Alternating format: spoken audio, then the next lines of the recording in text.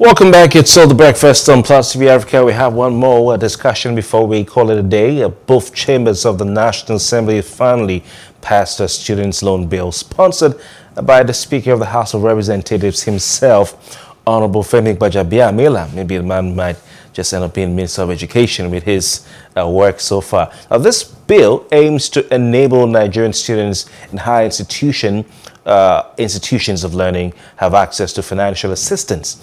The proposed legislation titled the Bill for an Act to provide for easy access to higher education for Nigerians through interest-free loans from the Nigerian Education Bank established uh, in this act with a view to providing education bill for rather education for all Nigerians and for other purposes connected thereto. That's quite a, a mouthful. Well, the House passed the bill earlier this year and forwarded it to the Senate for concurrence. Uh, with the Senate's concurrence, a clean copy uh, would be procured or produced and transmitted to Mr. President Muhammad Buhari for assent. Um, once again, uh, once it's signed into law, Nigerian students will begin accessing the loans. Quite an interesting development, but the big question is can Nigeria successfully implement this idea? Is Nigeria ready for student loans. I'm glad to see we have joining us this morning uh, to discuss this um, an educationist, Professor Abiola Awosika Fapetu. She joins us live via Zoom from Lagos. Uh, Professor, good morning. Thank you very much for your time. Good morning. Glad to be here. Fantastic. Let's let's uh, just hit the bullseye straight up. Is Nigeria ready to do what the Americans have been doing for for for so long and still haven't perfected? Having student loans? Well, I, I don't think uh, we need to worry about what anybody else is doing. Uh, let's look at the situation that we have on hand. Do our people need help uh, getting quality education? If the answer to that is yes, then what the government needs to do is let's examine whether we can give these loans to them. If we think we can, then we should.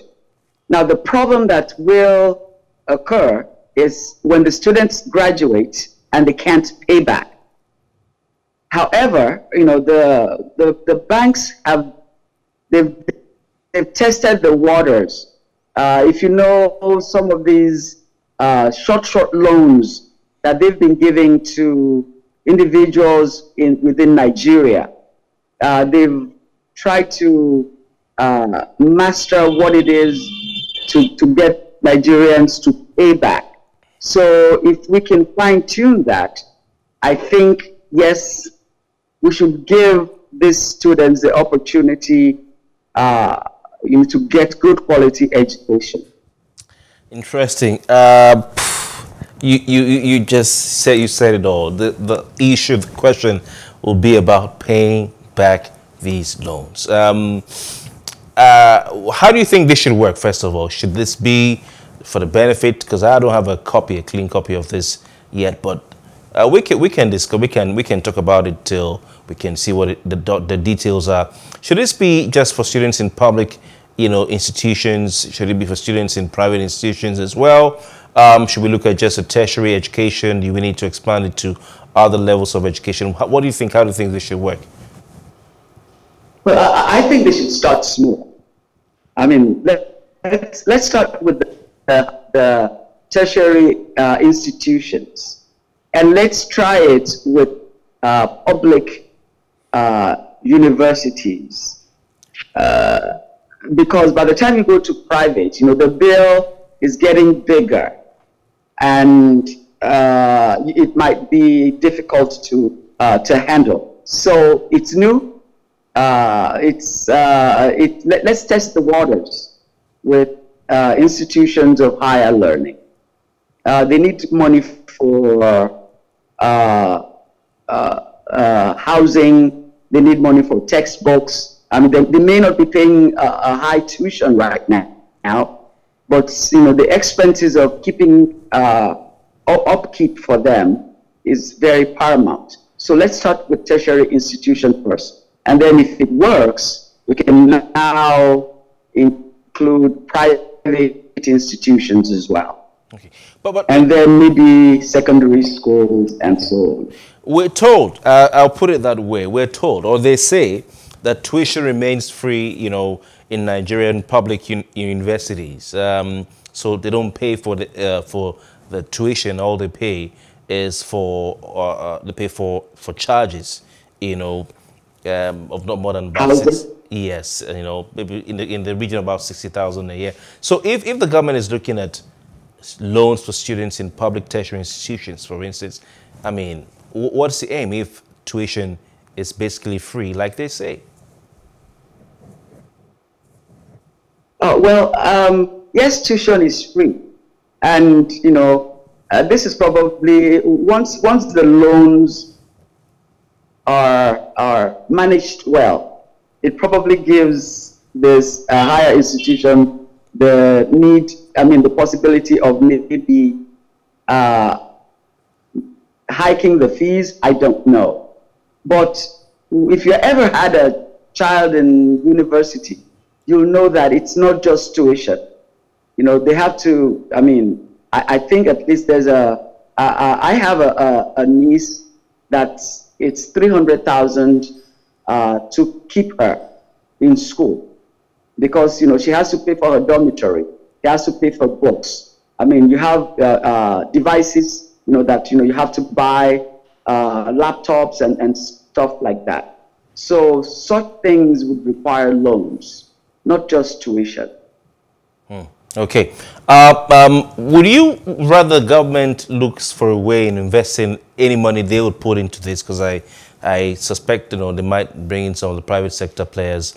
Uh, but this is an education bank, uh, which probably will be government run. Do you think they should put the effort into improving the tertiary institutions and education institutions across board in the country?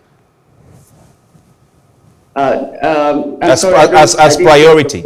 Yeah, I'm saying, I'm saying, I mean, government is going to invest in, in this um, to a large extent. Do you think that the priority for government in terms of where they put the effort and apply their attention to should be as a matter of priority in improving education in terms of facilities, in terms of uh, the welfare oh, of teachers, in terms of improving the curriculum? Oh, absolutely. Um, again, this is because this is the topic that we are talking about. Uh, if, if, if, you know, if we are to tell ourselves the truth, uh, this is not the first thing we should be talking about. Uh, it is, you know, improving our institutions, uh, expanding access to uh, other Nigerians who want, you know, uh, higher education, uh, in, improving the lot of the, the lecturers, improving the lot of the staff.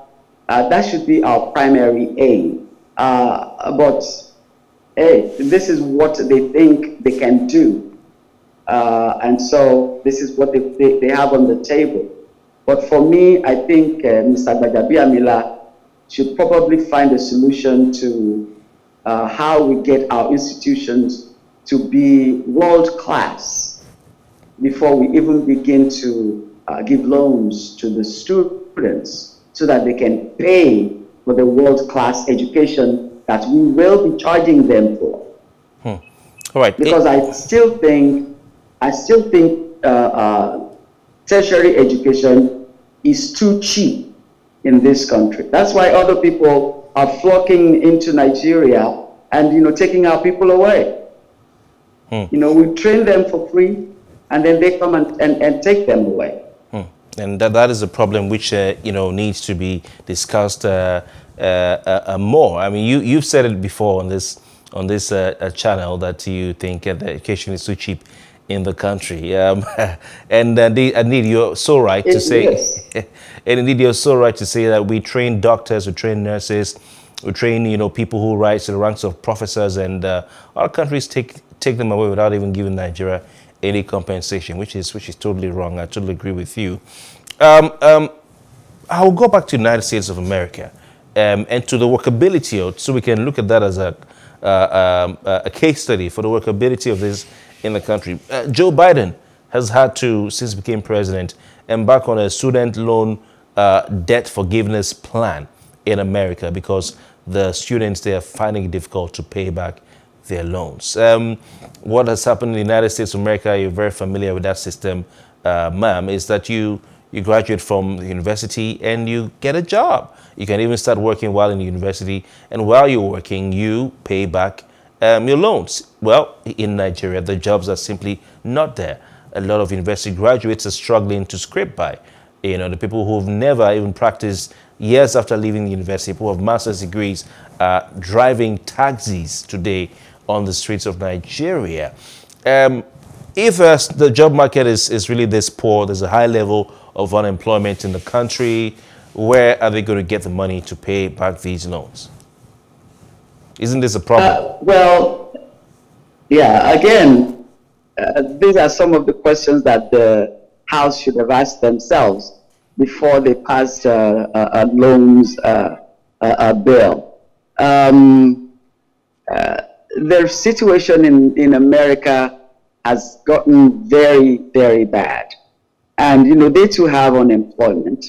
Uh, I mean, you get out of college uh, and you have about 50 to 60,000, uh, maybe $100,000 worth of loans, and you don't know how you're going to pay. So I can see Biden stepping in and trying to alleviate uh, some of the problems that they have. Um, for us in Nigeria, it's, it's probably still too early.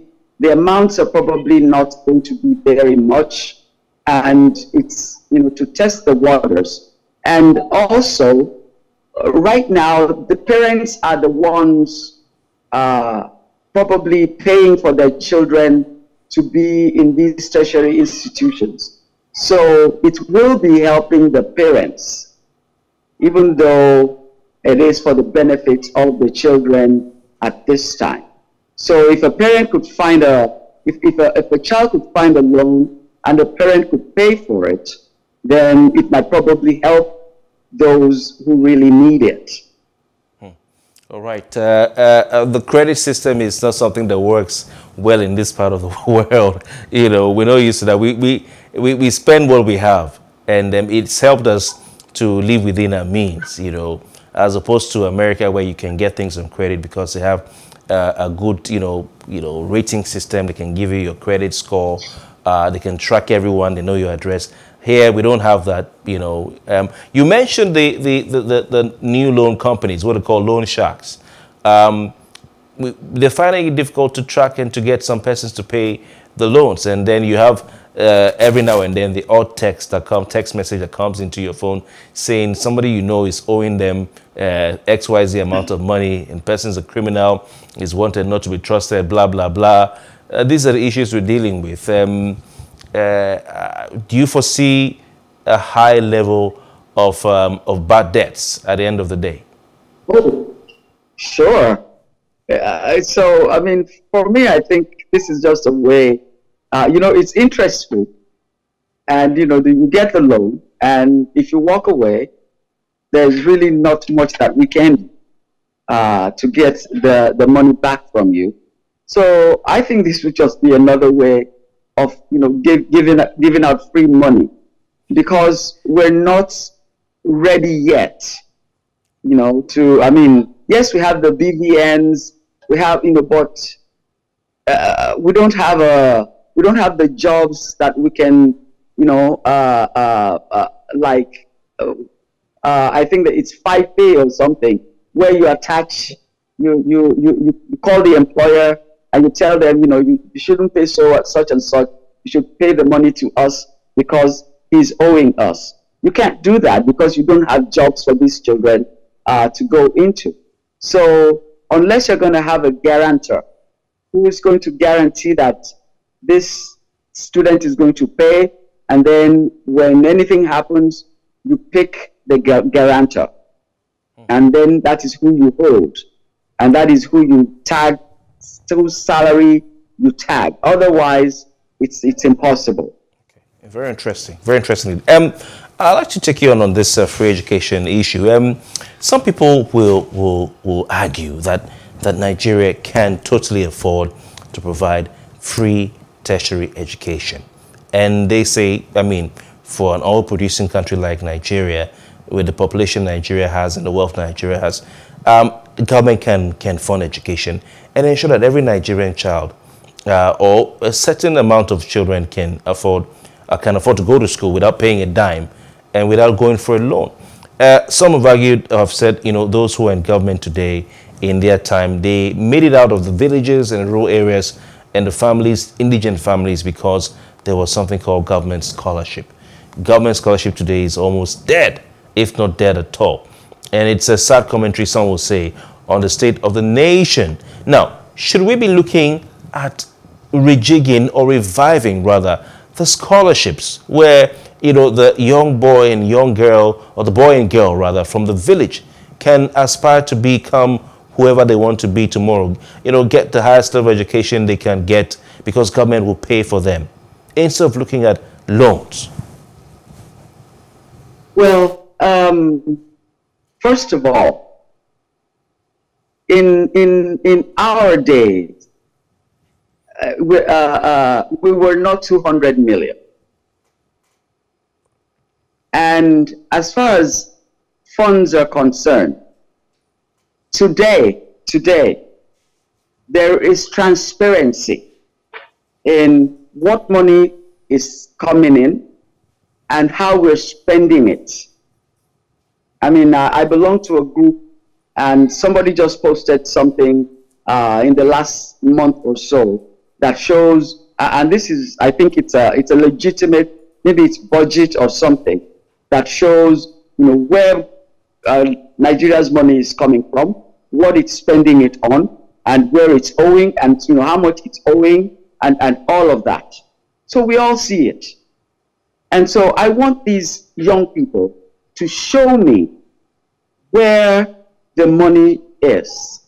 Yes, we should have scholarships, but it should be for the few. It should be on a need, on needs basis not a blanket uh, scholarship for everybody. I, I, I, still believe that we should have a, a structure that, you know, you, you find out how many children we ought to have in the tertiary institutions at any given time, and the government gives all of us the same amount of money. If you are going to, okay, this is you have a million naira for your education. So you each get a million naira. If it costs uh, a million to go to tertiary, fine. If it doesn't, then find loans to make up the difference. Or you find the school that will accept your million naira to give you quality education. So that way, every child has an opportunity so that nobody is supplementing other person's children. We're all Nigerians, and yet we can only absorb about 600,000 in our universities. What about the rest of us? What are we supposed to do? So we should look at those things that, you know, keeping university education as elitist because only a few can get in. But if there's an opportunity for all of us and we have the same amount of money, and if my family is well to do and they can borrow money for me to go, fine. If they can pay for me to, to go and not borrow money, fine. But we all get the same amount from the government that you know sees to our education. So there, there's a lot of questions and a lot of answers that we need to, to find in, in the issue of education in this country. Very interesting, uh, Professor Abiola Awosika Fapetu. maybe in the future, we'll have to match you with somebody for a debate on whether, whether education should be totally free or not. I, totally, I love that. All right. Totally appreciate your time. It's always a thrill to have you on the breakfast and uh, have a fantastic day. Thank you very much. Thank you so much. All right. Bye-bye. All right. That's the size of our package right here on the breakfast. I'll return tomorrow with the ultimate edition. Um, of course, uh, don't forget you can follow us on the social media platforms uh, Plus TV Africa on Facebook, Twitter, Instagram, and on YouTube, and also the second YouTube account, Plus TV Africa uh, lifestyle. The website is out there as well. You can check us out for the latest news. My name is Kofi Bartels. On behalf of everybody, the entire team, thank you very much for your time. See you tomorrow.